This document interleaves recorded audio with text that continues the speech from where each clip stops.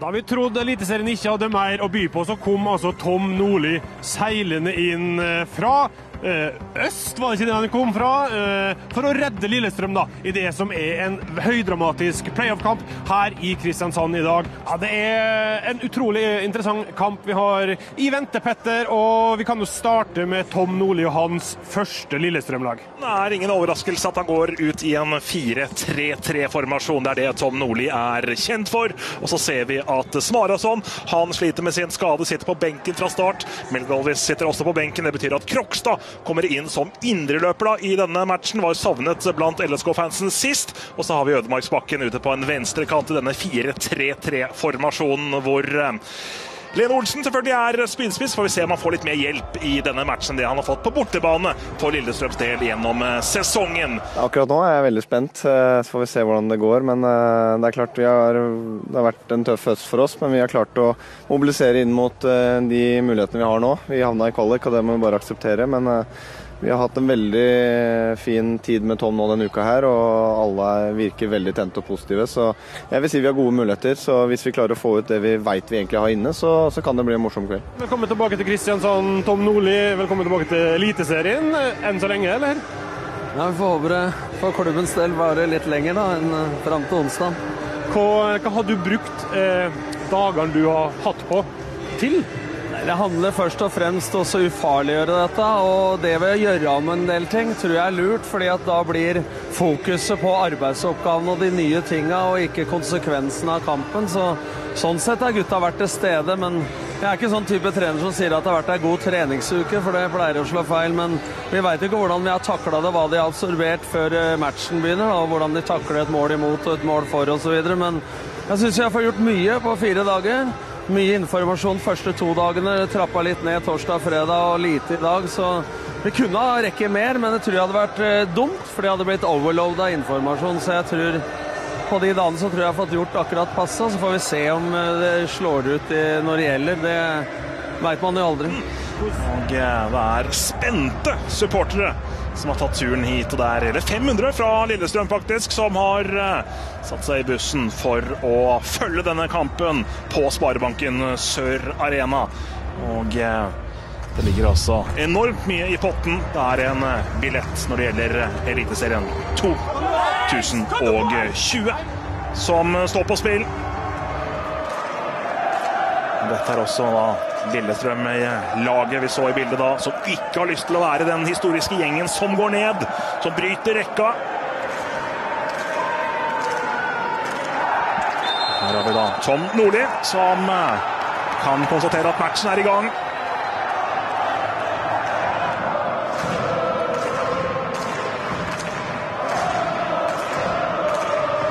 Uvant situasjon for Lillestrøm-fansen, og Det er jo mange år at de har kjempet for å holde seg vekk fra nedrykkssumpa. Men eh, kvalik har det ikke vært i siden 1990. Ser vi også kommer fra Lillestrøm. Også langt ut mot Lene Olsen, og det er en god mulighet for eh, Lillestrøm. Ender faktisk med et eh, hjørnespark også seg en uh, liten smell. Er det i albuen da, som Lene Olsen får den smellen i? Ja, Klemmer seg inn på den plassen som i utgangspunktet var åpen, da. Så Lene Olsen som hadde header over, så må jo Kjensli mene at den går via Damien Love. Det var ikke lett å se at den gjorde. Også et interessant taktisk spill i denne kampen med tanke på bortemål som er gjeldende i disse kampen her også hvor stor risiko skal man tørre å ta i den første kampen. Lillestrøm har jo for så vidt fordelen av at de skal avslutte hjemme, men de vil jo ikke ha noen mulighet til å skåre bortemål på hjemmebane, for å si det litt flåsete.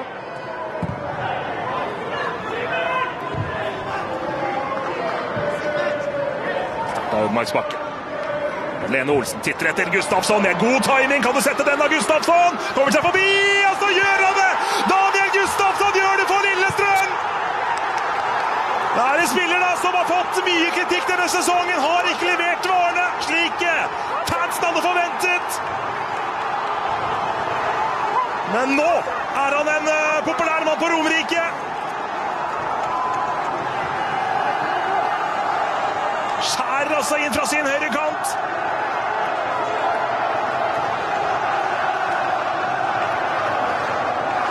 Fått dette bortemålet, da, som kan vise seg å bli ekstremt viktig.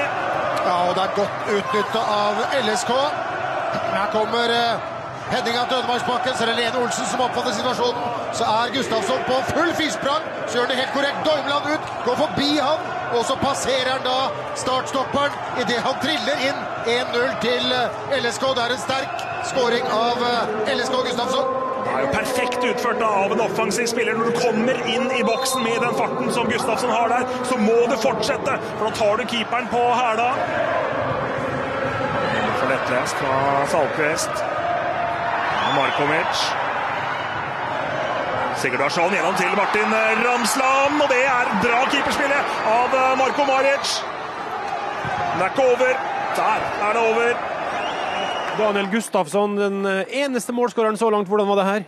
Nei, det var bra. Jeg tenker vi kommer bli, bli litt eh, mot slutten av første omgang, så vi må komme opp litt høyere og spille litt bedre.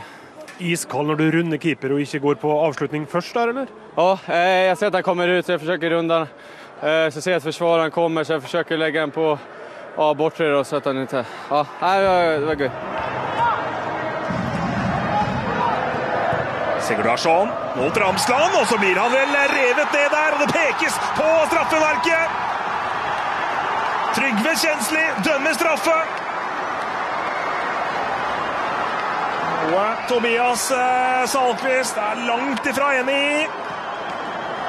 Ser vi det en gang til. Løftes inn av Sigurdarsson. Så er spørsmålet, Bengt, om uh, Ramsland faller vel så mye bakover som han egentlig blir dratt der. Ja, jeg syns det er uh, feil dømt av uh, dommer Kjensli. Straffe som så høyst tvilsom ut, men det er dømt. Og her kommer uh, Maric. Han tar ikke den, og det er 1-1. Sigurdarsson. Han er iskald.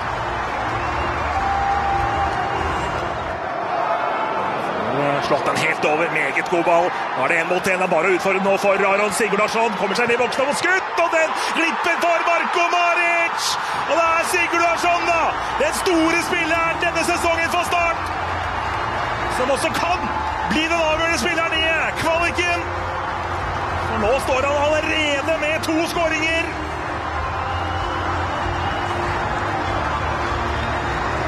Du spurte hva nå Lillestrøm, hva nå Start. Start har ikke blitt uh, lave foreløpig etter å ha gått opp i ledelsen.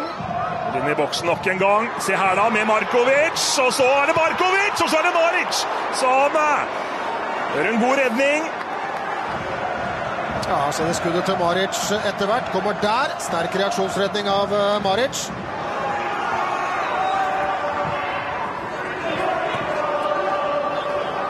Simen Raffen med innlegget mot Brenden. Og så er det Lene Olsen, og den går like utenfor. Thomas Lene Olsen med en kjempesjanse. Ja, og nå er det lenge siden Lillestrøm har trua målet til uh, Start. Men uh, Raffen som pisker den ballen inn, og så han etter hvert opp hos Lene Olsen. Det er selvfølgelig en dårlig vinkel, men det er uh, veldig nære at den stikker seg bare rett på utsida av stolpen til uh, Jonas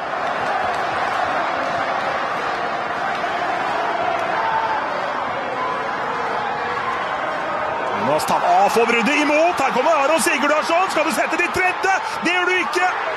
For Marko Maric. Han lar seg ikke lure. Det er jo en eh, svak avslutning også av eh, Sigurdarsson. Ja, men for en mulighet for Start å gå opp til 3-1. Knallhardt jobba av Ramsland. Og så er det Sigurdarsson som får muligheten. Her kommer uansett eh, Krokstad med en skuddfinte ut mot venstre. Så kommer avslutningen i stolpen! Og så Det er ikke over. Simen Raffen.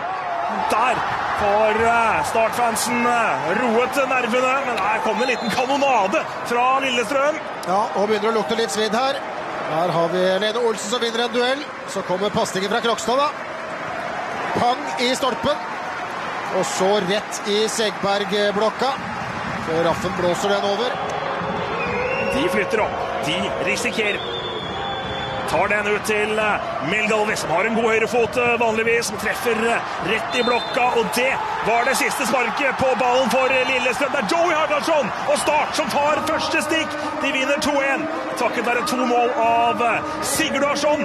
Tom Nordli, hvordan oppsummerer du det her? Nei, En prestasjon under det jeg hadde håpa på. vi prøver å gå ut høyt. og så på et veldig slitt og hurtig kunstgress så kommer Start eh, opp mot sitt toppnivå i løpet av sesongen, syns jeg. Og vi sliter veldig første kvarter å få trykk på oss. Og så får vi stoppa den pasningen fra Lov til Vikne og Ødemarsbakken og Krokstad spesielt, og Daniel Pedersen gjør en god jobb der. Og vi får masse kontringsrom og straffer dem på én og burde egentlig ha utnytta det mye mer. Jeg syns vi får kontroll utover i første omgang. Vi sleit litt på sida til Matthew og Daniel Gustavsson med at de lå litt høyere, så de fant han Markovic litt for mye i mellomrom og fikk satt opp venstresida si. Det fikk vi justert i pausa. Og dessverre så i sin siste kamp, mens resten er på Kiel-tur og roper hurra, og da er de beste dommerne, så dømmer Trygve Kjensli et meget billig straffespark. og da ser du at det påvirker oss litt, og så får vi litt trøbbel. Og så er vi jo ikke veldig dyktige i forsvarsspill og keeperspill på skåring nummer to. Og vi prester egentlig sjøl altfor dårlig offensivt. Men vi får allikevel en par muligheter med Thomas Lene rett utafor og et stolpetreff av Erik Brennen, så vi kunne ha fått med oss mer. Men summa summarum så hadde jeg håpa vi skulle slippe å ligge så lavt og forsvare oss så mye og skapt mer trøbbel for start enn det vi gjorde. Den fikk næring og publikum og entusiasme med seg.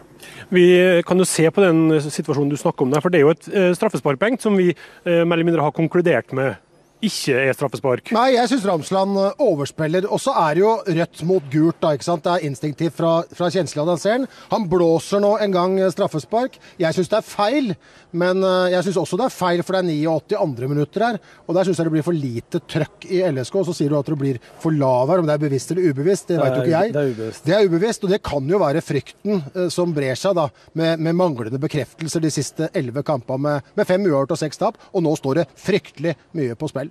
Ja, og så har det litt med at uh, vi skal ikke glemme motspill heller. At Start med sitt uh, spill får til såpass mye av bekka høyt og de får trøkt på, så det har jo noe med motspill å gjøre. at vi blir, uh, Jeg synes det er vel så mye med det å gjøre som at det er det mentale. Men det er kanskje det mentale spillet også litt puss etter straffa, syns jeg. Hvor fokuset blir på ting vi ikke får gjort noe med. Så det, det er trist. Men uh, jeg hadde håpa vi skulle se ut litt bedre forfatning offensivt. Defensivt syns jeg vi gjør en ryddig kamp, men uh, det er en straff og så en liten tabbe. Uh, men fikk med oss det bortemålet, og sånn sett så er det game on. Ja, Hvor viktig blir det? Nei, Det tror jeg er veldig viktig å få med seg. og det blir jo helt, Vi får se an værforholdet. Jeg tror ikke vi kommer ut på Åråsen sjøl heller, men han ser brukbar ut nå. Men det er meldt alt fra ti minus til to pluss i løpet av de siste værmeldingene. så det får vi ta som det kommer, men være forberedt på at det kan bli en helt annen eh, type match. Da. Eh, aller først, bare Hvordan er det å tape denne kampen 1-2 eh, da i, i, første av to oppgjør? Vi får et uh, bottemål. Det er, det er riktig viktig. Men uh, det er aldri kjekt å tape, uh, og det har vi gjort for mye. Så det er litt den samme følelse igjen og igjen. Og vi leder med ett mål igjen, um, og taper det ikke godt nok. La oss ta da den situasjonen som gjør at uh, du er her med oss. Det er jo en uh, omdiskutert straffesituasjon. Hvordan opplever du det? Uh, altså, jeg, jeg, jeg, griner stadig litt av det. fordi kan, Hvis man kikker på bildene Han lener seg inn i meg, og så kaster han seg ned. Jeg, kan, jeg, kan, godt se jeg har en hånd på skulderen av ham, men hvis du ikke må ha kontakt, så skal han dømme 6-7 straffer i løpet av en kamp. Og jeg kan ikke forstå hvordan han noensinne altså, man kan se, hvordan han kaster seg ned. Hvis, hvis, skal, hvis det er meg, så skal jeg rive ham ned. Så, så, river jeg ham ned. Og jeg er ikke i nærheten av å rive ham ned. Jeg står op på hans krop, jeg står på ham. Jeg kan se, jeg kan ikke nå duellen. Han skal ikke ta duellen, så jeg står tett på ham. Så jeg syns det er en skandale han kan dømme nå. Du skjønner frustrasjoner? du? Ja, selvfølgelig gjør jeg det. Og vi har jo kvittert ut det. Jeg er enig med Salkvist, det. Men jeg tenker jo, du som står bak deg, vi skrøt faktisk at du rydda vekk masse dueller som kom inn her og sånn. Men det dere må gjøre, faktisk, det er jo å prestere bedre fremover. For det skapte jo ikke kjempemye foruten den kanonaden på slutten her. Nei. Og da tenker jeg når du står der og rydder vekk masse, så må jo både du og resten av laget bidra med mer offensivt. Skal dere straffe Start og få dem bakpå i runde to? Jo, jo, det er klart. Altså, vi presterer ikke godt nok. Øhm, og vi, øh, vi, er dårlige i dag, og jeg, jeg, er også rigtig, rigtig dårlig, især med bolden. Det ligner, mig ikke at være så dårlig med bolden, som jeg er i dag. Øh, det er en ny opstilling, øh, eller ny formation. Øh, men vi skal kunne gøre det bedre, det er klart. Jeg synes, Jeg er helt enig med dig. Øh, Det er ikke den straffesituation, der afgør det, men den sætter dem i gang. Ja, selvfølgelig. Og han, han scorer et mål mere, han får lidt tur i den, og kommer til at, ja, nu kan han det hele, ikke? Uh, og jeg synes, jeg er nødt til at sige, i sådan en kamp her, hvor det betyder så meget, især med LSK, altså det, de, vi må ikke rykke ned, så synes jeg, det er en skandale, at han kan dømme den. Og jeg ved godt, det er sådan fodbold er, men, men sådan må ikke ske. Men jeg tror ikke det er deres beste inngang til neste match, at du syns dere fikk en dårlig dommer i dag. Nei, det vet jeg ikke. Det kan du ta som du vil jo. Altså, jeg har stor tro på, at vi vinner neste kamp, fordi den kamp, der kommer til, vi kommer til å spille på Ålesund, der kommer de ikke til å kunne spille øh, fin fodbold. Og så øh, ham der, deres angriber, der springer rundt, Ramsland. Ramsland, ja. Han kan få lov til å springe meget, men øh, vi skal nok ta ham på de dueller, der skal tages. Øh, så jeg vil sige, at jeg har faktisk meget, jeg har stor tro på det, men det er klart, at vi skal præstere bedre. Men det bliver ikke noget fint spil, så det, bliver, det ved vi, det bliver mange lange bolde, ligesom det gjorde mod Sarpsborg. Vi har en god plan for dem, vi er bedre end dem i luften. De har mange små, hurtige spillere, men de kommer ikke til at kunne bruge det så meget her, det tror jeg ikke på. Jeg er 7-9-13 for det. Veldig bra. Takk skal du ha, eh, Tobias Saltquist, og lykke til på onsdag. God tur hjem.